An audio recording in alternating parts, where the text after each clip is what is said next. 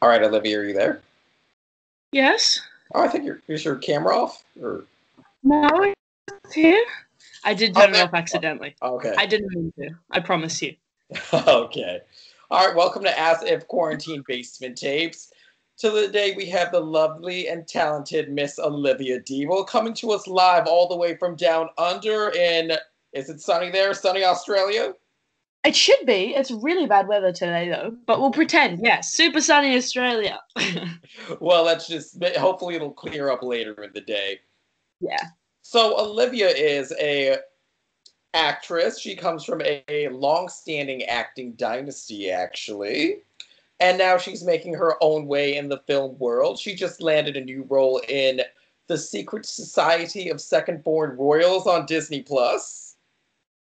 Congratulations. So talk to us a little bit about that project. so that was an in, i mean it's you know it's life changing it's disney. Um so that was awesome. I got it whilst i was still on a television show. It was really crazy. It like my contract ended and then i got disney nine days later. So i like flew back to my hometown melbourne. I was living in sydney and then i had to pack my bags and essentially go straight to um toronto but it was you know it's a wonderful story i really love the kind of modern twist to it it wasn't like it's not your normal kind of princess story um, so I fell in love with the script immediately. I fell in love with my character, Roxana. I think she's hilarious. I think she's really interesting, and I really, really enjoyed playing her. Um, and no, it was in a fantastic experience. Like, no, it's nothing like Australian film and TV. So it was this whole new experience for me as well. So it was great. I loved it. I loved every second of it. So you got your career started on Home and Away, which is an Australian soap opera that has really made a lot of stars. I think Nicole Kidman's been on that show. The Hemsworths Yeah, were on that show. How'd you end up getting involved in that? Like, what was the audition process like? Like, how'd you come to land that role that really became a major breakout for you? Yeah. So before that, I think I got my agent when I was about 10. And that was after Mhm. years of begging my mum. As you said, yeah, my, my mother and my grandfather are both actors. So I was on a kids' TV show before that called Little Lunch um, when I was 11 to 12. And so that started, so that was my first ever gig Mhm. and then I kind of and then I just kept auditioning and then no I just they just uh, I just got an, uh, an audition come in from my agent um and then I got a call back and I did another call back and then they said oh can we you know would you be prepared to move to Sydney and that was a big thing because my whole family here is here and I had two younger siblings um so my grandparents offered to move up with me so then I said yes, I would be ready to. So then I got the job and I moved to Sydney with my grandparents and I lived with them for two years. And then my parents moved up for the final year. So huge, huge life changing shift at such a young age um, to be away from my parents.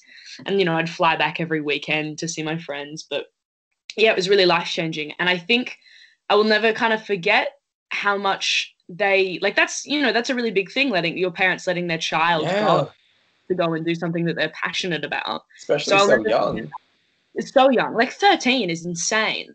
Um, and yeah, like that that in, uh, that experience in general really shaped me as an actor, and I think it's some of the best learning that you can ever have is on a soap because it's so fast paced and there's so many people Mhm. involved, and you're such you're such a part of a of a jigsaw puzzle, which I think is is lovely. I really enjoyed that. I enjoyed being an equal to everyone. And you know, if I I just think about if I'm tired and I had to get up at 5 a.m., the lighting department or the makeup department had to get up at three. Yeah. So you just have to think. And I think being on a show where there was so many people involved to just spit out television so quickly really makes you appreciate how much work goes into it. Um, yeah, and like you know, we were getting 12 page, you know, 12 pages of lines a day, and we're doing 12 scenes. So maybe it's more than that. You know, you you've got an hour to film each scene. So it's just it's so fast paced that you really have to just know your stuff. So having that experience was so fantastic. Then going into Disney, which was a lot more like you know we'd shoot three scenes a day, take hours. Um, was lovely, and I don't think there's a better or a worse. They're just two very different ways of filming. Um, on different budget oh scales. yeah, soap opera filming's a whole different animal from any Whole type of production yeah. schedule. Actually, even like theater, even commercial films like blockbuster films and all that. It's a whole different schedule because everything's so fast paced. it's insane. Um, but so yeah, I was I will I will always treasure my time on Home and Away and the things that it taught me. So with acting being so much in your blood, when did you know you wanted to act? Like, did you grow up on set with your grandparents and mom, or was it just a thing you knew they did and you felt like you wanted to follow in the family footsteps? How'd you develop your own genuine interest in acting? So I think it was sparked my mum tells this story of my grandfather, who's a vaudevillian slapstick comic. So we did a lot of stage work. Mm-hmm. We went to one of his performances, and I would have been like four or five. And he was like, Does anyone want to come up on stage? And I like shot up and ran on stage. And then we started doing patter. Like we started playing off each other. Like I got up on stage in front of 300 people or more, and then just started performing with my grandfather who was like 75 and it was just this five year old and this 75 year old joking together. So i think that's when they realized they were like oh god she actually really likes it. Um i did a commercial at quite a young age and then realized that this was a thing you could get paid for. And then i really wanted to do it so my mum let me go to some more auditions and then you know if i didn't get it i'd be heartbroken. And she went oh okay maybe we're just going to wait a couple years. And then i just started begging and begging and begging and begging and then she kind of gave in. So we got a proper agent and then i started getting and then then like jobs i'm so lucky. I've been very consistent with my jobs which has been fantastic. Mm-hmm. not like it's been humbling now because i haven't um haven't acted on anything since the disney movie so it's been good it's been like a year of no work which is important to recognize that that's what it is like an actor sometimes you just don't get jobs um, but, but pre that, I was like job after job. So it's it was I was very very lucky in that sense to be working so consistently. So I think they definitely fueled it because I was surrounded by it. However, it was never ever enforced upon me.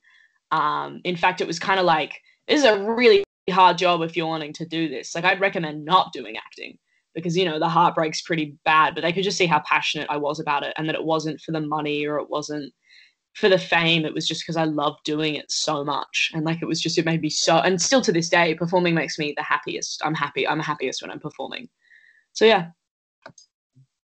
So, because you've been in the industry so long, what would you describe as your first major role? Would you say it was that time on stage with your grandfather, or would it be Home and Away? And I know you had a few other like small film credits and other roles before that too. I think I don't. I don't think I'd credit, I think Little Lunch, which was the kids' TV show I did 1st mm-hmm.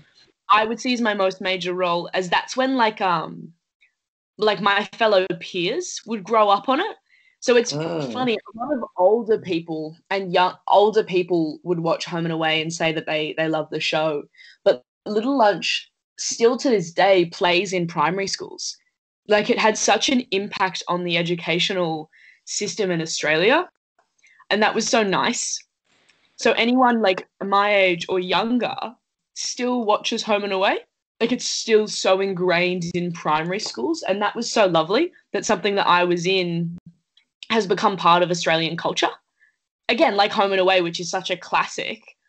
This is like Little Lunch was this thing that then became oh, we watch this when it's raining outside, or this is for educational purposes, or these kids are like you. So making something that kids could identify with and see themselves as was really lovely. And that was such a positive first experience to work on with great people. Um, and then, and that was a real shift. Then working, I was the only child in Home and Away, whereas in Little Lunch we were all kids. So it was a big shift. But I'd say that Little Lunch was kind of my first major gig. So what was it like making that transition from doing things that were heavily much more definitely youth oriented to going into the world of soap operas and then transitioning into the world of something majorly commercial like Disney Plus. Yeah. I think you have to be versatile as an actor. I think if you start getting uncomfortable with being a like if you if you start getting uncomfortable and not able to play specific roles, you're you're stopping yourself. Um I think the most fascinating thing is when you see an actor play so many different roles. Mm-hmm. Like you keep going, oh my god, that's him in that movie. Wow, I didn't even realize. Um, and I think all the characters I've played so far have been quite different to show my acting abilities and the work that I can put in to be versatile and still hold some of my own truth whilst performing, but you know, really, really changing up my characters. Um, I don't necessarily find it difficult because we're actors. This is what we do. We play. we we we shape shift. So if you're not able to do that, I or if you're uncomfortable doing that, I, I I would find it difficult to see how your trajectory would go as you age and mature. Mhm. So I haven't found it difficult at all. I've really enjoyed it. I guess is the answer to my to your question. So because you didn't have like because you started acting at a young age, you didn't have like you know the traditional like acting training conservatory route. Where would you say most of your craft developed as an actor? Would you say it came from watching your parents or from work with directors on set or just learning acting techniques from different older actors you may have worked with? Yeah, so I think it's a lot of that. Um, because I moved with my grandparents and my, you know, both of my grandparents are performers as well. That was fantastic. Like I got to run lines with two like Accomplished actors. Yeah, every night. And then with my mom, I still I still do all of my self tapes with my mom. No matter where I am, I'll still call her and run it with her and get her opinion on it.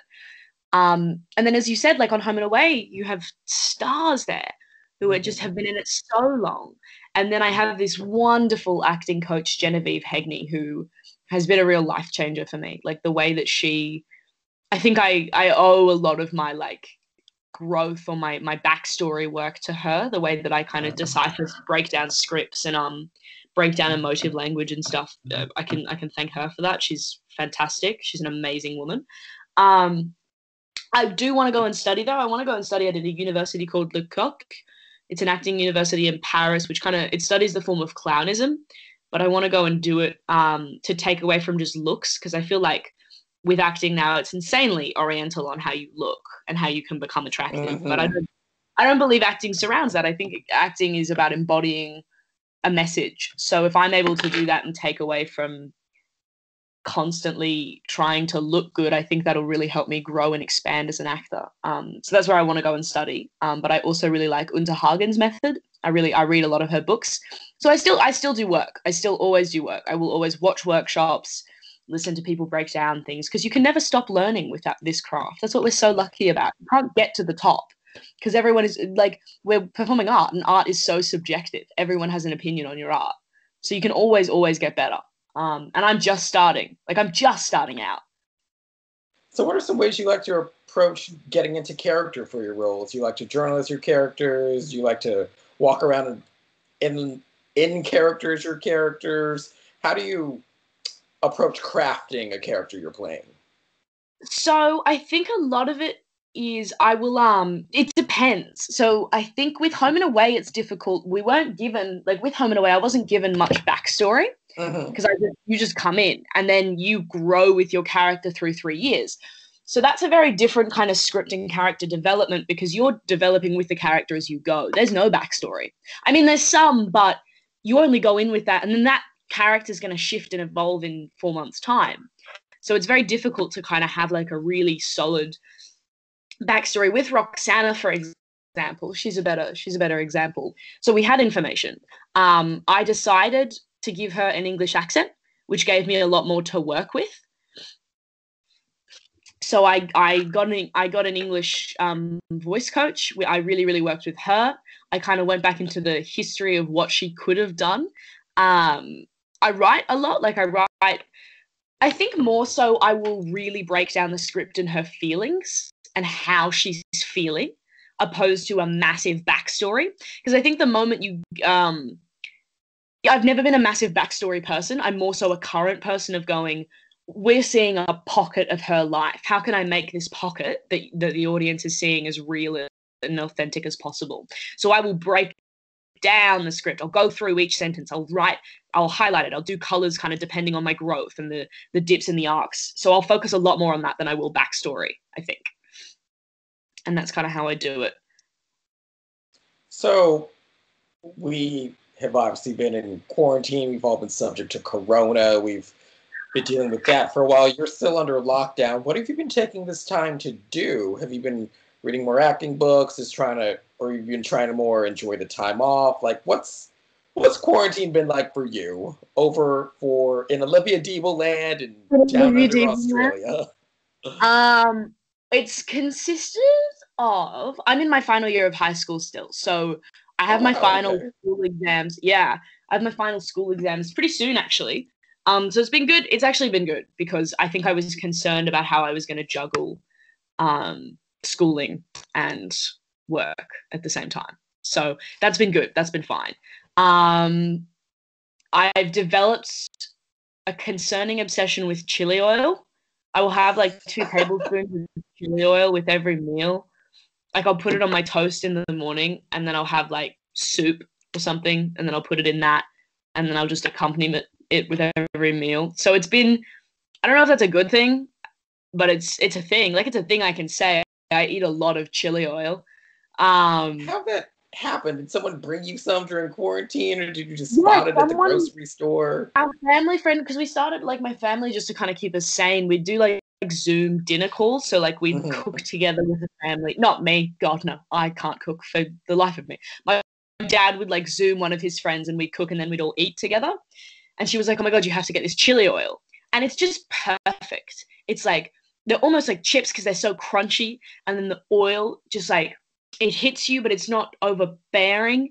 And then I just have it with every single meal. So that's been a fun little thing. I don't know if that's good or not. I'm a little I, bit concerned for my gut health because I've developed a hot sauce obsession. Right. Well, so you understand. You put it on everything. If I tried the world's hottest hot sauce the other day. Was it good? Or yeah, but I don't recommend more than one dot of this. Right. Like whatever, I, and I don't even mean like a teaspoon. I literally mean a dot. Once the first dot comes out, that's it. Don't don't that's use it. me. How much this. did you put on? Literally a dot. It clears oh, and that was sinuses. Okay. Well, that's what I'm saying. Like I'll eat. I'm like, oh, I'm kind of blocked up, and I'll just.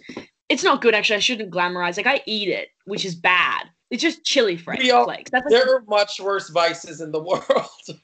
That's true. That's true. But I don't. I think my parents are getting concerned now. Like they're walking to the kitchen. I'm like, and they're expensive anyway. Um, I've really gotten back into like I don't play an instrument, but listening to music in general, I'm just really enjoying now. Um, I'm just really kind of enjoying chilling and listening to music. I started writing, which has been awesome um, and really nice. Nice to not um, and listening to like writers talk about character development as well is really interesting because I've always been in front of the screen and only had to focus on one character. So it's been really nice to um to have that other perspective and try that. Um, online shopping addiction's been pretty bad too. pretty bad. Where do you like to shop? I'm a vintage person, so I'm really I do eBay a lot. Mm, okay. Lot. Yeah, eBay and Grailed, and yeah, so those are my oh, two. Grailed.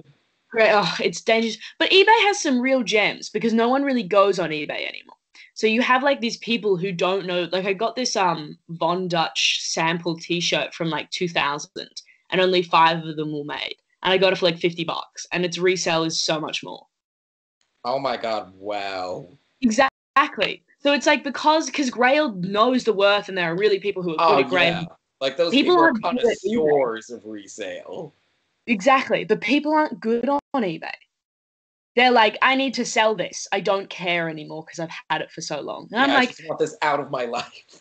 And I'm like, 25 bucks for this uh this thing seems fair. And then it'll be like 500 bucks resale. So eBay's good. eBay's a good little. I mean, I've just exposed myself to everyone who's going to watch this. Um, and they're now going to they're now going to take my tricks of hacking it on eBay. But that's okay. I'm willing to share that.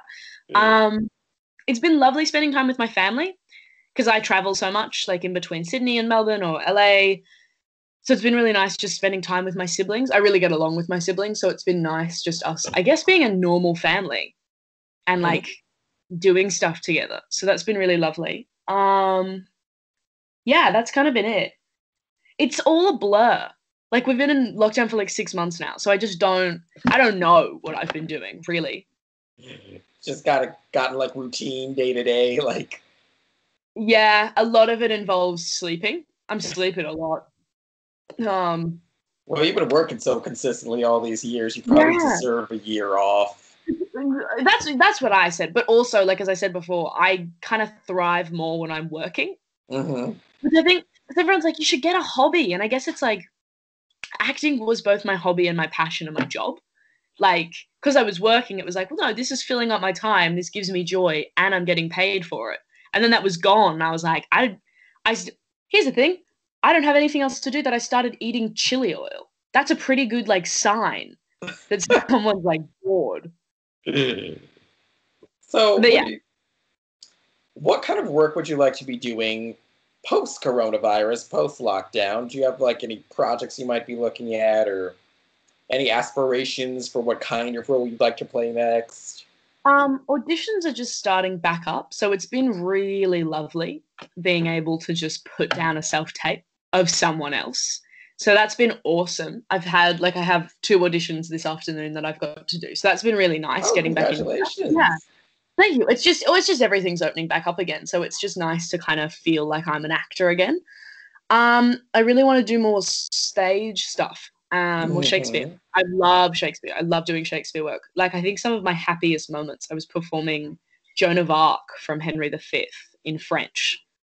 Um, Oh, I speak, wow. yeah, I speak fluent French, so it was this, and that was kind of the most like proud I've ever felt. Um, I think there's a real shift between screen and stage. I think the sense of like you only get one shot and you have to impact these people. They can't rewatch it. They're paying to see you for you to change them in this hour's session, and then it's gone. So I think that I really enjoy that. I really enjoy the adrenal uh, the adrenaline rush of that. Um, so I'd love to do more s- stage work. I'm. It's tough. I think I don't. I don't preempt. I'm not like, oh my god, I'd love to do a film like this. I just go, well, what scripts are being sent to me, and is this a, is this a story that I'd want to tell? More so, I guess. All right. Well, thank you very much, Olivia, and. Good luck with what you've got going on next in your auditions this afternoon. Thank you very much. And AS IF is very much looking forward to following whatever you do next. I really appreciate that. Thank you so much, Kristopher. You're welcome, dear.